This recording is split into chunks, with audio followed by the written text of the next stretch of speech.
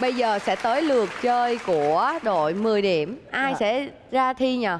Thôi đừng có nhìn nữa Muốn rồi thì nói đi. Dạ em ạ. Em ạ. Dạ. Rồi Chúng ta còn ba bộ chủ đề Thời trang, âm thanh, dân gian. Dạ em xin phép chọn dân gian ạ. Và chúng ta sẽ tới với lượt thi của Hải Vót với bộ đề dân gian.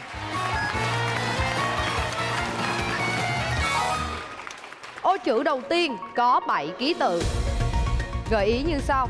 Hiện tượng này sẽ xuất hiện khi ngưu lang và chức nữ gặp nhau. Hết. Ờ. Từ từ nha, bình tĩnh nha. Ráp vào ô chữ Lấy cái đáp án trong đầu mình ráp vào ô chữ có đúng không? Dằm Hiện tượng.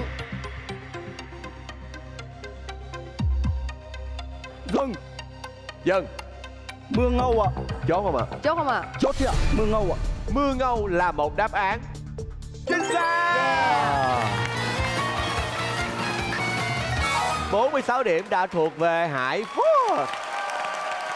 Trong tâm thức của dân gian, ngày thất tịch là ngày 7 tháng 7 âm lịch là ngày ngưu lang chức nữ được gặp nhau. Những dòng nước mắt của đôi bên rơi xuống trần gian, gây những ngày mưa liên tiếp đó là mưa ngầu. À, Ờ, Và chúng ta sẽ cùng đến với ô chữ thứ hai Gồm có 7 ký tự. Xin mời. Trò chơi gì mà 5 nhỏ hơn 2, 2 nhỏ hơn 0 và 0 nhỏ hơn 5 Hết. Trời ơi Quen thuộc luôn. Dừng Dân. Cộng trừ. 5, Cộng trừ 4, Cộng Ba. trừ à, hay là nhân chia ta? 2, 1 Nhân chia. À cộng trừ Cộng trừ chốt. Từ từ. Cộng trừ. Cộng trừ. Là một đáp án. Không chính xác.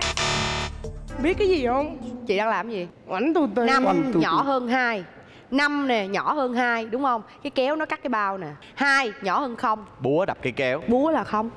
Đó là trò chơi quảnh tù Quảnh tù tì. À, bình tĩnh hơn tí xíu Dạ. nha. Rất tiếc mình đã không nhận được số điểm thưởng ở câu hỏi vừa rồi Tiếc quá Thôi mình sẽ đến với ô chữ cuối cùng của lượt thi Chúng ta sẽ đến với thế giới của cổ tích. Ô chữ tiếp theo có 7 ký tự. Trong chuyện cổ tích, khi Thạch Sanh cứu được thái tử, vua Thủy Tề đã tặng vật này. Hết. Vua Thủy Tề tặng cái gì ta? Tặng cái gì ta? Ừm, Trong đó có câu gì?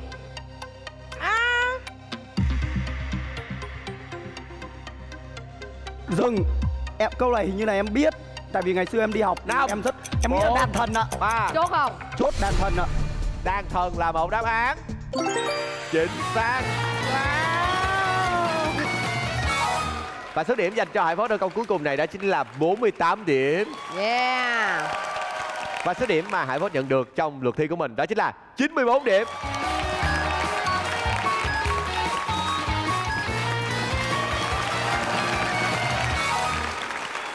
Và chắc chắn rồi, chúng ta còn một lượt thi cuối cùng nữa của cô em gái chị đó. Ờ. Ờ, Cô bé Mai Kim Liên, xin mời bạn ra vị trí của mình ạ. Ráng lên em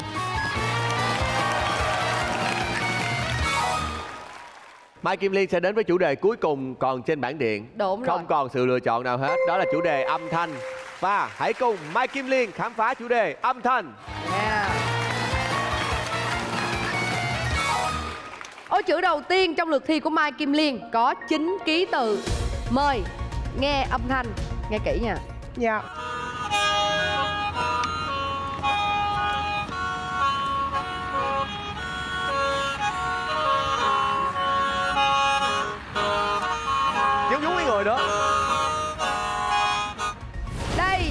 âm thanh gì hết? Cái này phải thổi um, Cái âm thanh này á là nó phát ra từ một loại nhạc cụ Đúng rồi, đúng À. rồi. Lê Đức biết đúng không? Em cũng có biết một chút thôi nhưng mà không chắc lắm Đó, cái từ đầu hiện ra rồi Gần hiện ra rồi Tè, tè, tè, tè, tè Tè, Khó quá, tè, không, không tè, chắc về tè. cái tên này nên không dám đoán đấy Một chữ đó thôi Tiếng. là bạn có thể đoán ra được từ đầu tiên rồi tiếng Hết rồi Đúng rồi Ừ Đúng rồi dân Dừng. Dân um, bây giờ thì uh, Năm tiếng Bốn. tiếng kèn à Chốt không à? chốt à Tiếng khèn Tiếng là đáp án à. cuối cùng và đã chốt Có đúng không ạ? Yeah.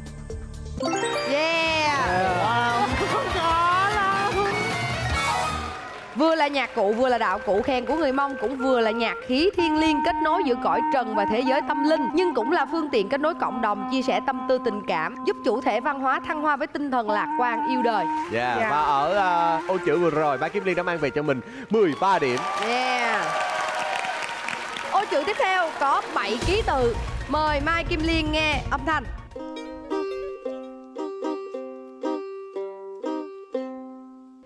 Hơ mông hơ hơ mông mờ ô hơ mờ ô không không đủ không đủ. Hay là đàn tranh. Hay quá hả Nghe là muốn nhún nhảy liền. Hết rồi. Hết. Đây là âm thanh gì? Hết. Đợi xíu chưa có đáp án thì đợi xíu.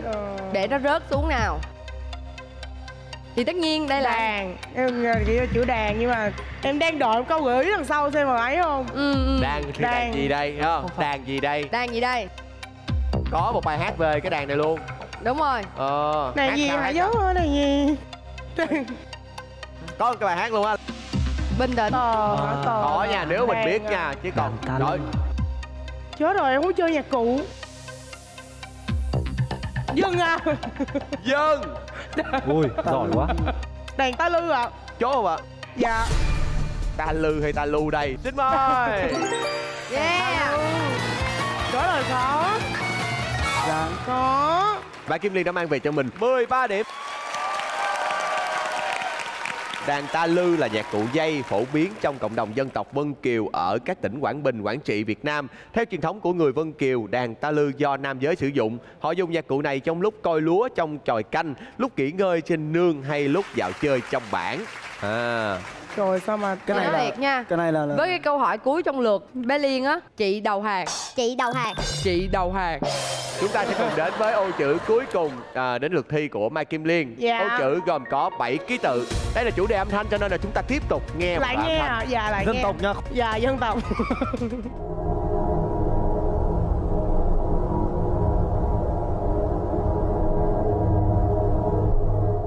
Đây là âm thanh gì? Hết lại là âm thanh gì ạ Đúng rồi. Hờ, và âm thanh này được phát ra từ đâu? đàn à, đánh. Có ánh sáng nha. dân à dạ em chốt đàn tranh à Đàn tranh Tuyệt Đàn vời. tranh. Rất là khớp với ô chữ của chương trình. Nhưng mà Nhưng mà tiếng âm thanh đó cái tiếng nó không hợp là đàn là đàn tranh hả?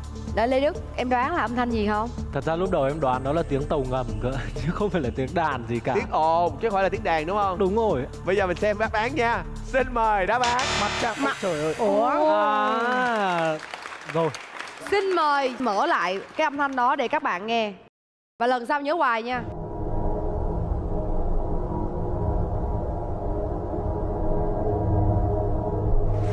bởi vậy chị mới nói câu cuối cùng là chị thua đó. Chị cũng biết gợi ý sao. Tổng số điểm mà mai kim liên đạt được trong lượt thi của mình đó chính là 30 điểm. Xin mời.